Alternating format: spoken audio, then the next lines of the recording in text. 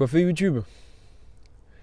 Je te propose aujourd'hui une petite analyse sociologique, empirique du chemin de, de Vézelay, du chemin de Compostelle. empirique parce que forcément, hein, il s'agit de, mon, expérience et, euh, et, en plus, c'est des données forcément qui sont, qui sont pas significatives hein, parce que dans un premier temps, j'ai fait le chemin de Vézelay, donc j'ai pas rencontré beaucoup de pèlerins parce que sur ce chemin, il y, a, moins de pèlerins que sur les autres chemins, notamment sur celui du Puy-en-Velay. Et deuxièmement, je suis parti en juillet. Juillet, c'est une période chaude. Et euh, bah, j'ai pu l'expérimenter. Hein, euh, l'après-midi, je marchais parfois sous 34-35 degrés, entre 33 et 35 degrés pour, le plus chaud. Et donc forcément, c'est encore plus harassant d'engranger des kilomètres sous une forte chaleur comme celle-là. Euh, et donc, euh, j'ai eu des échos d'autres, des pèlerins que j'ai rencontrés, et la plupart des gens, en fait, font le voyage en mai, font le pèlerinage en mai ou en septembre. Ok? Faut garder ça en tête, hein. ça, c'est quand même important. Une information assez importante. Euh, donc, j'ai dû rencontrer environ 20 personnes. on, va, on va arrondir à 20 personnes, peut-être un peu plus, peut-être un peu moins mais on va dire 20 personnes. Sur ces 20 personnes, 80% des, pèlerins avaient plus de 50 ans. Et donc les 20 autres pourcents avaient moins. En sachant que je fais partie de ces 20%. Hein. Je m'inclus dedans. Donc, ensuite, on va, se centrer justement sur ce 80% des, pèlerins. Sur ce 80%, la plupart, en fait, étaient des, euh, retraités. Euh, de mémoire, il y avait que Jean-Marc, un mec euh, qui travaillait encore. D'ailleurs, euh, son cas est intéressant. Tu vas voir. Donc, euh, dans ces 80%, on va dire qu'il y a 95, 95, donc 95% de retraités, 5% de, de, personnes qui travaillent encore. alors, déjà, pourquoi retraiter? C'est intéressant. Pourquoi des retraités? On peut se dire c'est quand même euh, quelque chose qui demande un certain effort physique. Euh, on, a tendance à plus voir des jeunes euh, faire des efforts de, cet ordre-là. Donc déjà, je te l'ai déjà dit dans, dans, ma vidéo de présentation, dans le bilan, j'avais calé un mois pour faire Limoges-Saint-Jean-Pied-de-Port. Donc la moitié du parcours. Je, l'ai fait en 23 jours. Bon, on s'en fout, euh, pas... mais on va dire que si tu fais euh, plus ou moins 20 km par jour, tu le fais en plus ou moins un mois. D'accord? Donc pour faire tout le chemin, tout le chemin de Vézelay, de, de à Saint-Jean-Pied-de-Port, il faut deux mois. Qui, aujourd'hui, à, l'heure actuelle, est capable de bloquer deux mois dans l'année pour pouvoir faire ce, euh, cette pérégrination? Il n'y a que deux types euh, de personnes. Il y a les étudiants, dont je fais partie. Euh, on pourrait dire les, adolescents, mais bon, il faut une certaine maturité, je pense. Et puis, tu as, euh, les retraités, hein, forcément, qui, eux, ont le temps de, bloquer deux mois dans l'année. En plus, les retraités, ils peuvent les bloquer quand ils veulent. Parce que l'étudiant, il est soumis au, au, calendrier, tu vois. Euh, le retraité, lui, il bloque deux mois en mai ou en septembre, il s'en bat les couilles, tu vois. Il fait comme il veut. Donc déjà, première chose, euh, ça paraît assez logique. Euh, ensuite, deuxième chose, importante aussi, c'est des retraités, certes, mais il faut quand même une forme physique, d'accord? Il faut qu'il y ait un entretien de soi. Donc c'est des personnes de qui ont plus de la cinquantaine, mais qui, sont encore qui ont encore de bonnes conditions physiques. D'accord?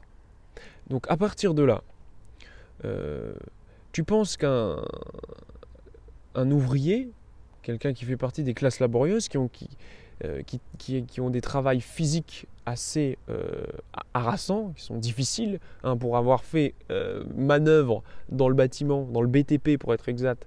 Je peux te dire que quand tu te lèves à 5h30 le matin, donc quand tu dois te lever entre 4h30 et 5h du mat pour arriver sur le chantier à 7h30, 8h et que tu rentres chez toi, il est 18h, crois-moi, à 19h, 20h, tu es au lit. Hein.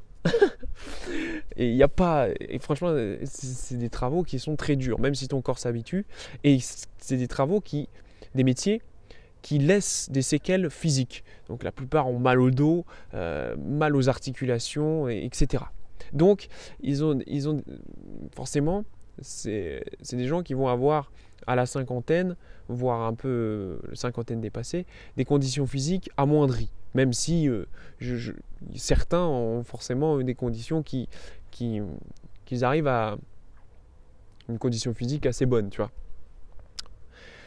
Mais je vais dire de manière générale, voilà, euh, ils ont quand même c'est quand même des métiers qui, qui, ont tendance à laisser des séquelles au corps, ok? Donc, ce sont des retraités qui sont forcément, euh, pour la plupart, hein, et ça c'est une interprétation. Hein, j'ai eu quelques, il y a quelques personnes qui m'ont donné euh, leur ancien métier. Euh, pour la plupart, ils étaient encore une fois dans les bureaux, hein. euh, trucs de banque, je sais pas quoi, de comptable, donc les métiers libéraux, mais en tout cas dans des bureaux. Hein. et donc, c'est forcément des, métiers et, des gens qui sont d'une classe moyenne sup, voire supérieure. D'accord?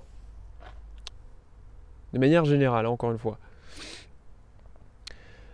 Et ce qui appuie encore euh, ce constat, c'est qu'il faut une certaine somme d'argent quand même pour pouvoir faire ce, périple. Hein. D'ailleurs, ça, fera l'objet d'une vidéo, hein, l'objet d'un guide plus ou moins. Euh, et en sachant que moi, je l'ai fait en bivouac. Les retraités, ils font pas ça en bivouac. Hein. La plupart, sauf justement le mec que je t'ai dit là, le seul gars qui bossait encore, et qui avaient plus de 50 ans, euh, les, retraités, ils font 20 km et ils font des, ils font, euh, des refuges. Ça veut dire qu'en plus, ils rallongent, parce que moi j'ai fait en 23 jours, parce que des fois je faisais du 30 km. Eux, ils font 20, donc ils vont faire vraiment un mois, euh, donc 30, voire 31 jours, et ils vont de refuge en refuge.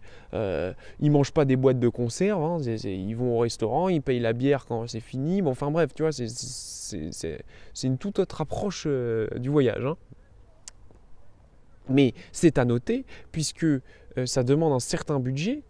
Euh, et si tu es retraité, mais que tu as bossé, comme je t'ai dit, en tant qu'ouvrier, que tu étais la classe ouvrière, la classe laborieuse prolétaire, euh, voire la classe moyenne, aujourd'hui, hein, tu n'es pas en mesure de, de, faire un voyage qui te coûte autant. D'accord? Donc, le constat, c'est que ce sont des retraités de la classe moyenne, sup, voire supérieure. D'accord? Je ne sais pas comment on dit, classe euh, bourgeoise, non, je ne sais pas comment on dit. enfin bref. Donc ça, c'est le premier profil. Hein, et c'est le profil le plus présent. Et le deuxième profil, toujours dans les 80%, hein, euh, en fait des gens qui ont plus de la cinquantaine, c'est le profil de Jean-Marc. En fait, c'est un profil j'imagine qu'on rencontre très peu, c'est pour ça que j'ai dit 5%, mais qui est quand même présent, et en fait qui est le plus intéressant, forcément. Euh, et euh, c'est en fait un mec de la classe ouvrière. Jean-Marc, lui, faisait les vendanges, donc il faisait un métier saisonnier, et c'est ce qui lui permet en fait de pouvoir caler du deux mois dans l'année pour pouvoir faire le pèlerinage et pour pouvoir faire une expédition d'une telle, telle durée. Donc saisonnier. Mais euh, lui, justement, il portait une tente. Donc il faisait en toile de tente aussi. il n'est pas tout le temps euh, dans les refuges. Donc ce qui lui permet aussi de réduire la dépense. Tu comprends? Donc voilà, on a vraiment deux profils et en plus qui ont forcément euh, des objectifs bien différents. Hein. On a euh, le premier profil euh, qui, correspond à la majorité des pèlerins, qui sont des retraités euh, de classe moyenne sup, voire supérieure, et qui sont plus en mode voyage. Hein. voilà, ils ont claqué, je sais pas, 1000, balles pour voyager. quoi. Ils font 17, 15, 20 km. Et puis voilà, c'est un petit voyage entre copines. entre copines, d'ailleurs, on, reviendra là-dessus, vite fait. Et puis tu as une deuxième partie, une deuxième catégorie qu'on peut regrouper en fait avec les étudiants, hein, plus ou moins. Ça veut dire des, personnes qui sont euh, qui ont qui arrivent quand même à se démerder pour euh, se bloquer euh, un mois, deux mois dans l'année, et qui mais qui gagnent pas forcément beaucoup d'argent, donc qui travaillent encore et qui vont pallier à ce, à ce manque économique en euh, en faisant en bivouac ou en sous-tente, etc. D'accord? Et en plus, je vais dire la plupart du temps, qui ont des objectifs quand même différents. On n'est plus sur plus sur des vacances, euh, on est vraiment sur un voyage, euh, sur quelque chose d'autre, tu vois? Encore une fois, c'est mon expérience, donc c'est empirique, donc c'est biaisé, mais je pense que le constat, encore une fois, euh, vu la logique euh, du constat, est généralisable. D'accord? Et dernière chose, euh, ça je le balance comme ça, parce que j'ai aucune explication qui me vient à l'idée. je dirais que c'était 80% des pèlerins féminins. C'était des femmes, pour la plupart. Là, à toi, à toi d'imaginer, je sais pas. Je sais pas euh, qu'est-ce qui explique le fait que ce soit euh, des femmes pour la plupart? Et quand je te dis pour la plupart, c'est vraiment une grosse majorité. Hein. Genre, y par exemple, j'ai rencontré un groupe, euh, il y avait un mec dedans et cinq, cinq copines là, cinq, pardon, quatre copines. Je dis cinq, tu vois. il y avait cinq copines ouais, des petites vieilles, tu vois, mais genre, euh, voilà, des vrais, vrais retraités. Il y en avait une de 75 ans, tu vois. Je veux dire, encore une fois, hein, ça, soutient l'idée. Hein. Euh, comment tu peux, euh, à 75 ans, encore avoir une, condition physique quand, je sais pas, si tu as fait les vendanges, si tu as fait, tu vois, le Jean-Marc, là, qui, qui fera l'objet d'une vidéo d'ailleurs, il avait du mal, tu vois, il souffrait quand il marchait. il avait mal au dos, euh, il avait mal aux pieds. Et après, en plus, lui, il engrangeait les kilomètres, tu vois. Il, pareil, il faisait du 25, du 30, tu vois. Enfin bref, voilà. Je t'ai proposé euh, une petite analyse euh, que je trouvais intéressante à, faire partager. Parce que c'est contrairement à ce qu'on pense, en fait, il y, a très peu de jeunes, voire quasiment pas. et la plupart des gens sont des retraités qui sont là en mode vacances. D'accord? Pareil, euh, on reviendra sur l'aspect religieux, etc. Mais euh, euh, très peu rencontré de, gens dans, cette optique. Voilà. Enfin bref. Sur ce, YouTube, je te dis Narbis et si tu as des. Ouais, tu peux tu peux t'exprimer en commentaire hein, pour, pour donner ton avis, etc. Allez, tchou